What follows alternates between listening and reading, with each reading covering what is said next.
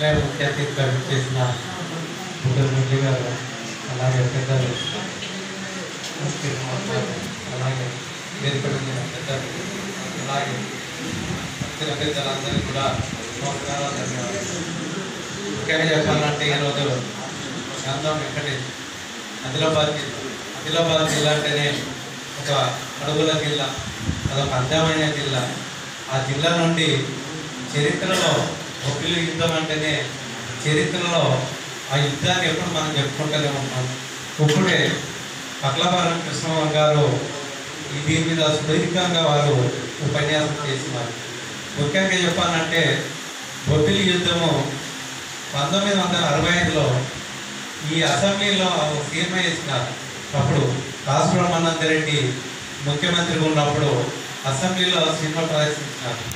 ముఖ్యంగా చెప్పాలంటే గత నెలల్లో దాదర్ గారి కుమారుడైన బాబ్జీ గారు అది రవీంద్ర భారత్లో నన్ను ఇన్వైట్ చేసినారు. బొబ్బిలి యుద్ధం అక్కడ చాలా ఒక వన్ వీక్ ఇతనే ప్రదర్శించినారు.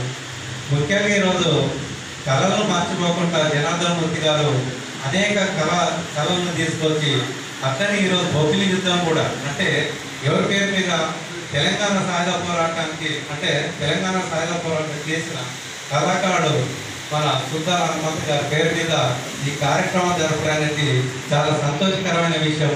అంటే మనము ఒక బొబ్బిలి యుద్ధం మర్చిపోలేము. అట్లనే తెలంగాణ సాయుధ పోరాటం మర్చిపోకుండా వీళ్ళు ఆదిలాబాద్ జిల్లా నుండి వచ్చి గంధం వెంకటేశం అట్లే వాళ్ళ బృందానికి కూడా మేము ప్రత్యేక అభినందనలు తెలుపుతున్నాను.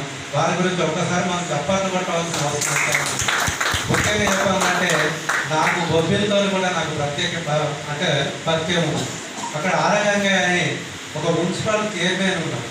వాస్తవంగా ఏంటంటే అప్పుడు ఒక ఇరవై సంవత్సరాల క్రితం ఎన్టీఆర్ గారు డీజీపీ ఉంటే ఆయన ప్లాట్ వారు కబ్జా చేసిన కబ్జా చేస్తే నేనేంటంటే మాట్లాడితే ఆరగంగా అని ఆ కబ్జా ల్యాండ్ పరిష్కారం చేస్తే వాళ్ళకు కొన్ని డబ్బులు వచ్చినాయి. అంటే గంగయ్య ఎయిటీ సిక్స్ నేను వాళ్ళ ఫ్యామిలీ డబ్బులు ఇచ్చిన తర్వాత నేను ఒకసారి బొబ్బిలి పోయాను బొబ్బిలి పోతే ఆయన సుధీర రంగారావు ఉండే చిన్న రాజవారు.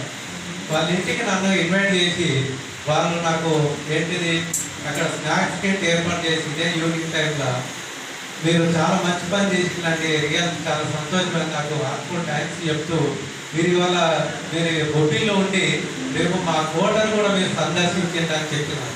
నిజంగా సరే నేను లేదు సార్ నేను వెళ్ళిపోతున్నాను మార్నింగ్ వెళ్ళిపోయాను టోటల్ చూడలే కానీ మొత్తం మీద నాకు ఇంకో విషయం చాలా గుర్తు ఏంటంటే మా చిన్నప్పుడు రామరాజు మా తెల్లంపల్లిలో ఈ బొబ్బులి యుద్ధం మా నాన్నగారు తీసుకుపోయారు అది కూడా నాకు గుర్తు.